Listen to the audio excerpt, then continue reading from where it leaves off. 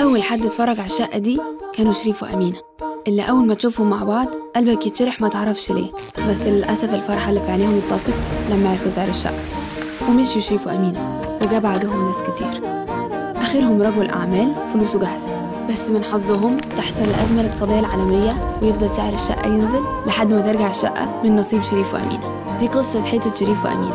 أنت قصتك إيه؟ سكيب للدهانات. أنت ألوانك. حتك.